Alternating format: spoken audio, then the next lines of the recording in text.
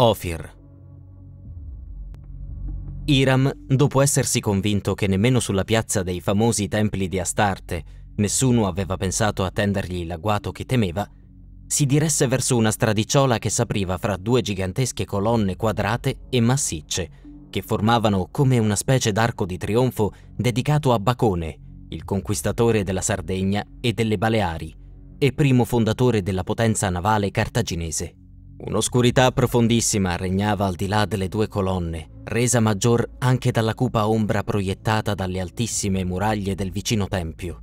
La bufera, ingolfandosi in quella stretta viuzza, ruggiva su mille toni, cacciando innanzi a sé nembi di sabbia, ed era così caldo che certi momenti Hiram ed i suoi compagni temevano di cadere al suolo asfissiati.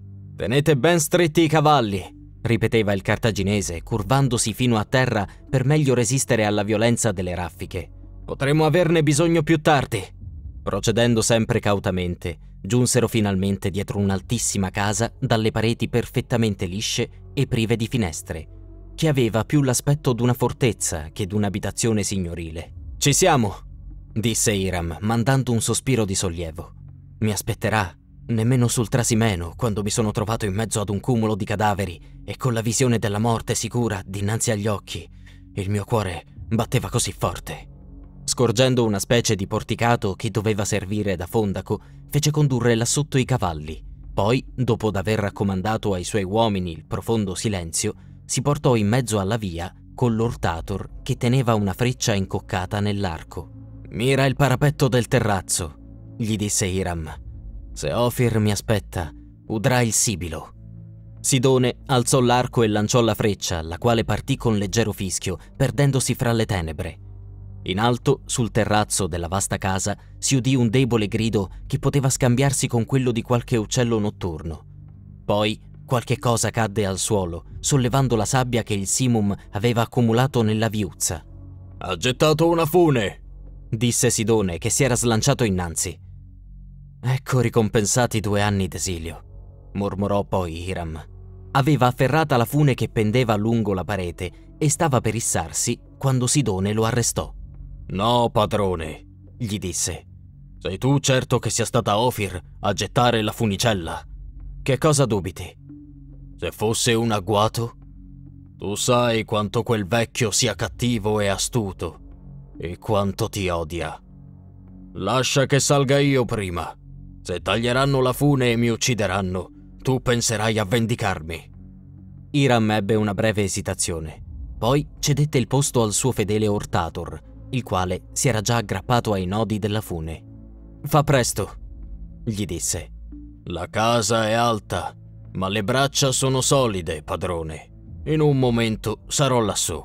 Hiram afferrò l'estremità della fune per tenerla tesa e l'Ortator si mise a salire con l'agilità d'una scimmia, rasentando l'altissima parete della massiccia costruzione. Il vento che infuriava in alto, di quando in quando, lo sbatacchiava violentemente ora a destra ed ora a manca, quantunque il cartaginese si sforzasse di tenere la fune sempre tesa. Un fischio stridente che scendeva dall'alto avvertì finalmente Hiram che l'Ortator aveva raggiunto il terrazzo e che nessun pericolo, almeno per il momento, minacciava.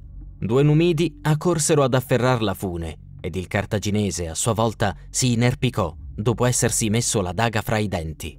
La salita durò parecchi minuti, poiché la casa aveva un'altezza di otto piani, usando i ricchi cartaginesi, al pari dei fenici, possedere dimore altissime, onde poter dalle loro terrazze dominare un vasto spazio di mare e osservare le navi naviganti verso i loro porti. Hiram, però, che aveva dei muscoli d'acciaio, giunse non del tutto sfinito sotto il cornicione della terrazza. Qui, una mano, disse Sidone, curvandosi sul parapetto. Afferrò il cartaginese e lo trasse a sé, tenendosi ben stretto ad una delle merlature. Ofir? disse subito Hiram. Silenzio, signore, rispose una voce di donna. Una forma bianca s'era avanzata verso di lui, facendogli un profondo inchino. Sei la sua schiava favorita? Chiese Hiram, mentre Sidone ritirava lestamente la fune. Sì, mio signore. E la tua padrona? Ti aspetta nella sua stanza. Non far rumore, perché temiamo che il vecchio Hermon abbia veduto il piccione che tu hai mandato questa sera. Seguimi pure, signore. Ed io? chiese Sidone. Rimani qui di guardia, rispose Iram. Al primo grido che mando, accorri. Conta su di me. La schiava, che era avvolta in un ampio mantello di leggerissima stoffa bianca con ricami d'oro, prese Iram per una mano e gli fece attraversare il terrazzo, che era vastissimo, coprendo tutto l'immenso fabbricato, scendendo poi una gradinata che conduceva in una specie di galleria, tutta di marmo bianco, sorretta da eleganti colonnette scannellate. Fermatevi qui, mio signore, mormorò la schiava. La mia padrona non è lontana. Bada di non tradirmi, disse Iram con accento piuttosto minaccioso. Istar mi punisca se io ti ingannerò, forte guerriero, rispose la schiava. La mia vita, d'altronde, è nelle tue mani. La donna scomparve sotto le volte della galleria che nessun lume rischiarava. Iram udì una porta cigolare, poi un bisbigliare sommesso, quindi un passo leggero che s'accostava. Ofir! Mormorò con voce tremante. Un debole grido subito soffocato gli rispose.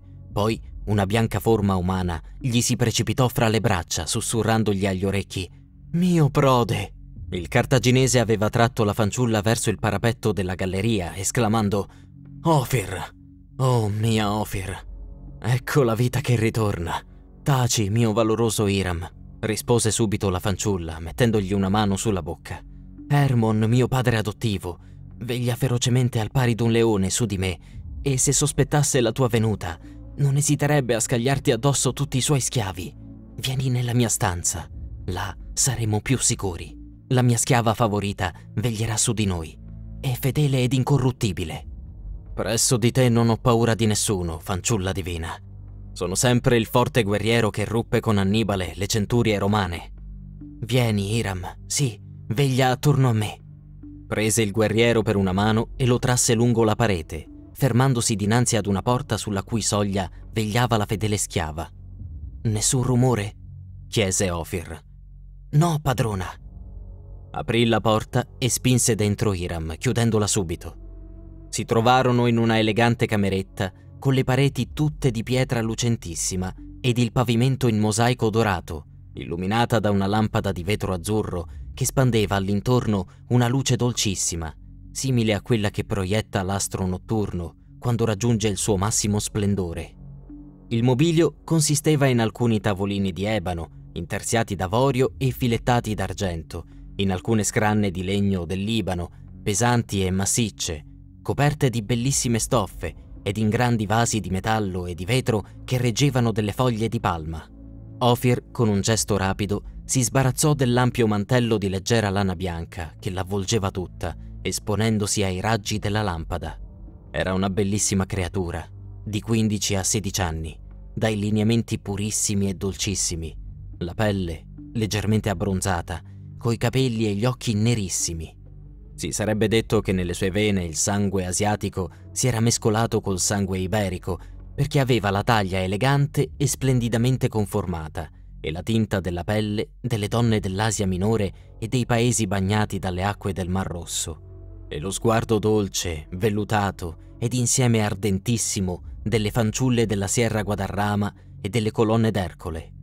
In ciò d'altronde non vi sarebbe stato nulla di straordinario in un popolo come il Fenicio, che aveva spinte le sue conquiste fino ai paesi più occidentali del Mediterraneo e più oltre ancora. Come tutte le donne cartaginesi d'alta condizione, indossava una specie di accappatoio di lana bianca, quasi trasparente, con ricami d'oro all'altezza delle anche, cadenti in larghe pieghe. Aveva buona parte del collo nudo, fino alle spalle, e così pure le bellissime braccia, adorne però di splendidi braccialetti d'oro e di perle di stile fenicio. Iram si era arrestato dinanzi alla fanciulla e la guardava con gli occhi umidi, come abbagliato da tanta bellezza. Sei la mia Ofir, la fanciulla che per due lunghi anni ho pianto. Ho una dea, esclamò il guerriero. Nella terra dell'esilio non ti avevo mai sognata così bella. Sono la tua dolce Ofir, la fanciulla che non ha mai cessato un solo istante di amarti, rispose, e che non ha mai cessato di sognarti. E tu m'ami sempre, è vero, mio prode. Se ti amo, esclamò Iram con passione. Non sono venuto qui sfidando la morte per rivederti. Gli uomini che l'infame Consiglio dei 104 e quello dei Suffetti mandano in esilio non devono rivedere mai più la patria, pena la morte tra i più grandi martiri. Temevo di non rivederti mai più, Iram. Ancora pochi giorni che tu avessi tardato e la mia felicità sarebbe stata finita. Ti vuol sposare il vecchio Hermon. Non te l'ho annunciato col piccione. Chi è il mio rivale? Qualche miserabile mercante? Hermon non ama gli uomini che trafficano e disprezza i forti che hanno difeso Cartagine ed il suo commercio, aggiunse Iram con furore. Che la lupa romana non piombi un giorno su questa maledetta città. A chi ti ha promesso quel vecchio? Azur. Giovane? Avrà la tua età, quando si celebrerebbero gli sponsali. Fra tre giorni. Dove? A Utica, nella villa d'Ermon. Sulla riva del mare, esclamò Iram. Le nozze finiranno con coppe di sangue, anziché di vino. Te lo giuro. Iram, esclamò la fanciulla spaventata. Credi tu che io abbia lasciato Tiro? Che io sia sfuggito alle spie che Hermon mi aveva messe ai fianchi per venire qui a vederti solamente? Ho forzato le crociere dei corvi romani e delle loro triremi che incrociavano nelle acque di Malta e ho sfidato la sorveglianza del collegio dei suffetti e del consiglio dei 104, non già per dirti solo che la fiamma che tu hai accesa nel petto del guerriero non si è ancora spenta, ma per farti mia. Cada Cartagine e la razza infame dei suoi ingrati mercatanti. Ma tu non sarai che mia, Ofir Fossi sicuro di morire dinanzi a te, col cuore squarciato dalle daghe dei mercenari. Iram, sono due anni, Ofir, che io soffro per te. Che cosa ho fatto a questa città di mercatanti per venire esiliato come un miserabile nelle lontane colonie di quei fenici da cui sono usciti questi abitanti?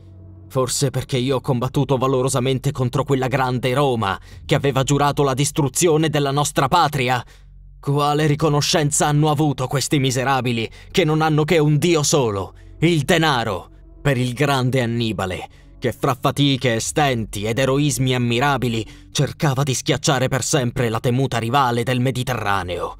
Quali aiuti hanno dato al grand'uomo che distruggeva le falangi romane? Lo hanno lasciato, dopo la disgraziata battaglia di Zama, andar ramingo attraverso il mondo e rifugiarsi come un miserabile colpevole, presso un re straniero, che non osò resistere alle pretese della Romana Repubblica. Quale ricompensa ha avuto quel grande? Il veleno bevuto quando Prusia, il vile re di Betinia, fece circondare la sua torre onde non gli sfuggisse, obbligandolo a sottrarsi con la morte ad una infame schiavitù. Odio Roma, come odio Cartagine. Ecco il guerriero che t'ama. Tra me ed il mercante, cui il vecchio Hermon ti ha destinato. Scegli, Ofir.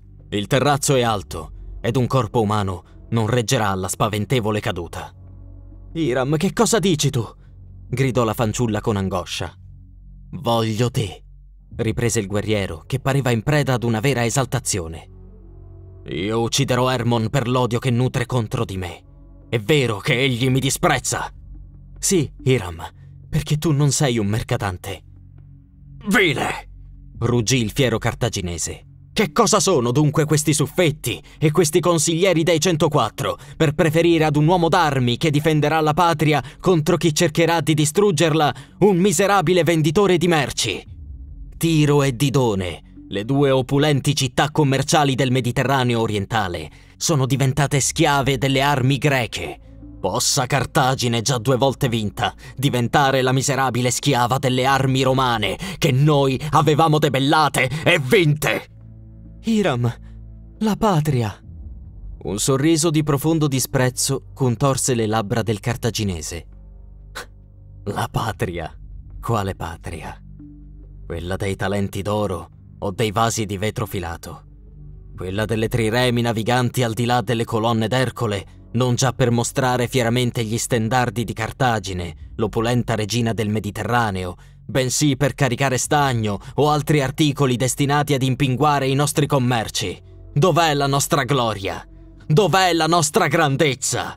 Noi combattiamo e moriamo per la Repubblica, diamo tutto il nostro sangue, lasciamo i nostri corpi sui campi di battaglia in difesa della patria e ci chiamano vili mercenari. Loro che quando scorgono da lontano una trireme romana o un corvo, fuggono codardamente senza nemmeno osar trarre la spada o imbracciare lo scudo. Ah, odiano noi che li difendiamo. Odiano noi che abbiamo lasciate in cento battaglie le nostre carni squarciate dai ferri nemici.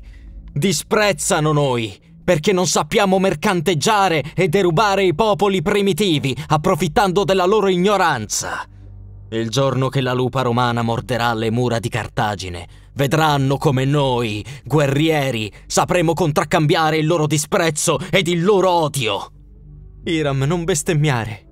Ho finito, disse il guerriero. Tu sarai mia, è vero, Ofir? L'ho giurato dinanzi alla dea Istar che io non apparterrò che a te o alla morte, rispose la fanciulla con accento vibrato. Dalla mia schiava favorita ho già fatto affilare un pugnale per passarmi il cuore il giorno delle nozze. Guardalo, Iram! La fanciulla si era curvata verso un vaso di bronzo ed aveva levato un pugnaletto di diaspro, facendo scintillare la lama dinanzi agli occhi di Iram. Credi ora alla mia fedeltà? chiese. Ringrazia Melkart, il dio dei naviganti, che non abbia fatto mancare i venti sul Mediterraneo, rispose Iram, guardando con intensa passione la giovane cartaginese. Tuo padre morì da forte a Zama, pugnando fieramente contro Scipione l'Africano, ed il sangue dei guerrieri non mente. Tu sei sua degna figlia e... Un legger colpo battuto alla porta lo interruppe. Taci, Iram, disse rapidamente Ofir, che era diventata pallidissima. Sarepta ha udito qualche rumore. Falla entrare. Ofir aprì la porta e la schiava scivolò silenziosamente nella stanza, dicendo Spegni la lampada, padrona. S'avvicina qualcuno. Ho udito un rumore di passi all'estremità della galleria. Vengano, disse Iram sfoderando la daga. Vicino a te, Ofir, cento uomini non mi fanno paura. Può essere Hermon. Lo ucciderò. Tutti fuorché lui, Iram, disse la fanciulla. Egli è stato per me un secondo padre, sia pure a suo modo. Il cartaginese spense la lampada e socchiuse la porta, tenendo in pugno la daga. All'estremità della galleria si udiva un passo leggero avanzarsi. Iram, curvo innanzi, come una belva in agguato, ascoltava ansiosamente.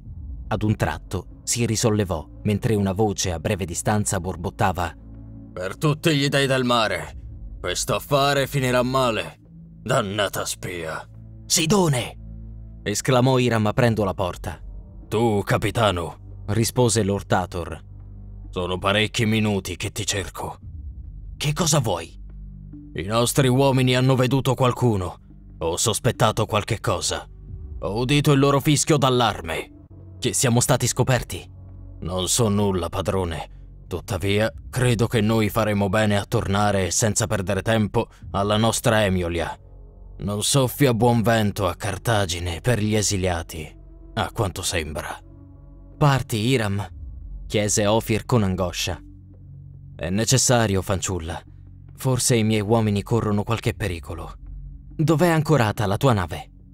Dinanzi il molo di Cercina. Domani passerò sotto la tua nave.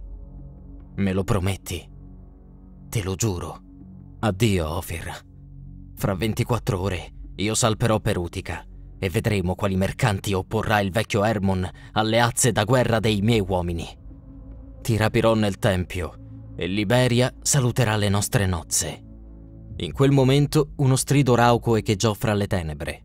Ofir si era stretta contro Iram, mormorando Ah, il triste augurio. È il grido dell'uccello della notte. Anche il cartaginese aveva trasalito, mentre Sidone masticava una bestemmia e crollava il capo. I guerrieri non credono alle tristi profezie, disse poi Iram sforzandosi a sorridere. Anche a Cannes i corvi passarono in gran numero alla vigilia della battaglia. Eppure le nostre armi vinsero. Ci rivedremo a Utica, mia dolce Ofir. Ancora il segnale dei nostri uomini, disse Sidone che s'era curvato sul parapetto della galleria. Affrettiamoci, padrone, prima che ci taglino la ritirata. Non si sa che cosa ci aspetta giù. Sì, parti, Iram, disse la fanciulla. Temo per la tua vita, mio valoroso. Sì, provino ad assalirci. Non commettere imprudenze, Iram. Pensa che io ti seguirò con gli occhi e che il mio cuore tremerà affinché non sarai giunto sulla tua nave. Presto, padrone! disse per la terza volta all'Urtator. Iram prese fra le mani la bella testa della fanciulla e fra l'oscurità si udì il breve sussurrio di un bacio ardente. A Utica, fra tre giorni, mormorò Poscia il guerriero. Là daremo la nostra ultima battaglia. Poi, allontanando con dolce violenza la fanciulla, si slanciò dietro Sidone, che saliva già alla scala che conduceva sul terrazzo. Eccomi, amico, disse. Sei pronto? Ho una grande smania di menare le mani, rispose il Numida. La fune a nodi era sempre legata attorno ad uno dei merli. L'Ortator scavalcò il parapetto e si mise a scendere rapidamente, subito seguito da Iram. Giù nella via tenebrosa si era udito un altro fischio, più stridente e più imperioso degli altri. Qualche grave pericolo doveva minacciare i quattro marinai dell'Emiolia, poiché non erano uomini da spaventarsi per un nonnulla. Fra l'apertura di due merli, Ophir seguiva con angoscia la discesa dei due uomini, mentre la sua schiava teneva ferma la fune. I quattro numidi dell'Emiolia si erano radunati presso l'angolo della vasta costruzione, tenendo per le briglie i cavalli. Tutti avevano le daghe sguainate, come se si preparassero a respingere un assalto. Che cosa c'è adunque? chiese Iram, che aveva toccato terra quasi contemporaneamente a Sidone, tanto l'aveva seguito dappresso. Ah, padrone, disse un marinaio. C'è qualcuno che nell'ombra prepara qualcosa contro di noi. Chi? Abbiamo veduto alcuni uomini ronzare all'estremità della via e nascondersi sotto i portici. In sella, disse Iram accostandosi al suo cavallo. E tenete salde in pugno le daghe. Vedremo chi oserà fermarci. Alzò la testa verso il terrazzo e con la punta delle dita mandò a Ophir un bacio silenzioso. Poi allentò le briglie mormorando: Se il vecchio Hermon mi ha preparato un agguato, me la pagherà cara.